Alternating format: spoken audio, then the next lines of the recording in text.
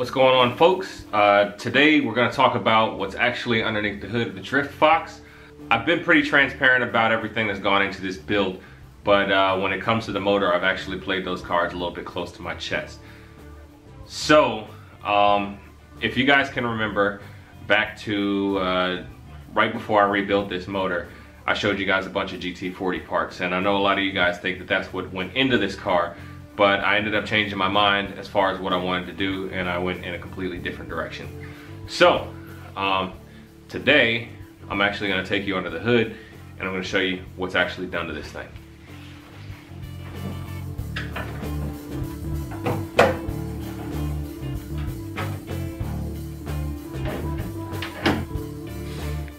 Okay, so starting at the top of the motor, we've got a 75 millimeter BBK throttle body and this has been ported and polished. Uh, moving further into the motor, we've got the Edelbrock replica. Um, this is actually a Typhoon intake, but it's actually exactly the same as the Edelbrock Performer intake. It just doesn't have the logo on the side. This has also been ported and polished as well, the upper and the lower.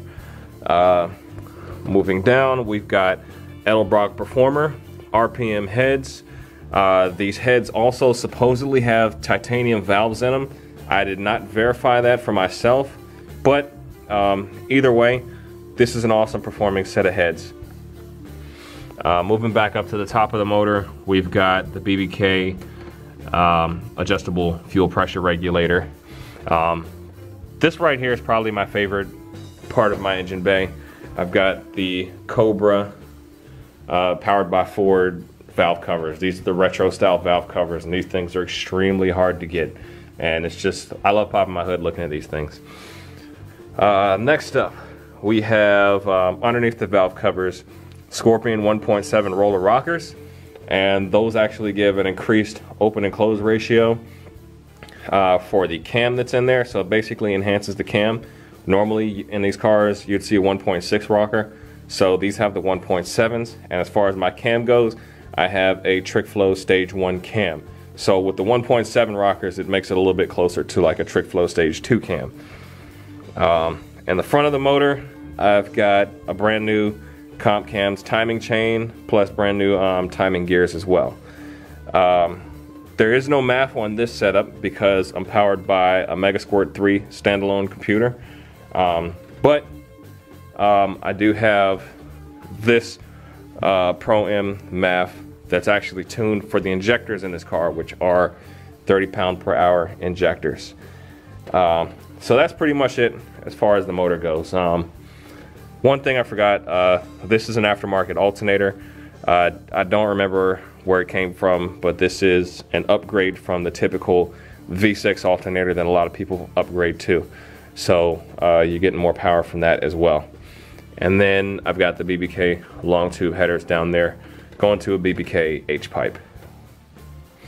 All right, so that's the rundown on the motor. So you may be asking yourselves, why am I telling you guys about the motor at this point? Well, I decided to reveal what's under the hood because it's actually for sale now. So I am selling my motor. So once this comes out, we're gonna be putting something different in, but I'm not gonna tell you guys what that is just yet. Um, I can tell you that it's going to be smaller, it's going to be lighter, it's going to rev a little bit higher. Um, so those are your clues for you if you guys can probably guess and figure out what's going into this thing. Before we get into why, I just want to let you guys know if you're thinking about buying one of these, uh, this motor has been completely reliable for me. Every single time it started on the first try for me. Uh, it runs great in traffic. I don't have any overheating issues ever since I figured out that I had air in my radiator. Um, the thing doesn't overheat. It runs smooth. It starts every time. Honestly, I couldn't really ask for more out of a motor. Um, it does great. Also, for everything I've done to this motor, this motor should be good for about 400 horsepower.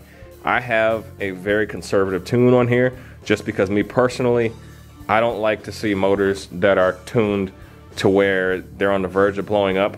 And plus, I run this car uh, pretty hard when I do run it, so I wanted it to be safe. But um, you know, it's up to you. You can actually crank this thing up to to the point where it'll put out 400 horsepower. All right, so as far as pricing goes, um, as of right now, I'm asking for $1,800 uh, and that's gonna be intake to oil pan. Uh, that does not include the uh, the cold air intake. This is, or really from the throttle box, from the, really from the throttle body to the oil pan. And that's a pretty fair price considering what you're getting. I've got over $3,000 worth of mods into this motor. So um, that's that. And if I don't get that, you know, while the motor's still in the car, by the time I pull the, the um, by the time I pull the motor, uh, I'll be selling it as a part out. Uh, that price does not include the ECU. Uh, if you want to get the ECU as well, um, I can work out a deal from that. Um, but as of right now, the ECU will be selling for a separate price. But in the meantime, if you're interested, uh, let me know if you have any questions. If you're local, you can come, you can see the motor run, uh, possibly even drive the car if you're if you're seriously considering buying the motor. Uh, just come and see what uh, if everything looks the way it is, uh, the way that I described it. All right, so that's gonna be pretty much it for this video, guys. Uh, like I said, I definitely would rather sell this whole motor as one piece because it's awesome the way that it's running right now and it's, it's just ready to go into another Mustang or into another motor swap project. And the sooner I get this thing out of here, the sooner I can get the new motor in.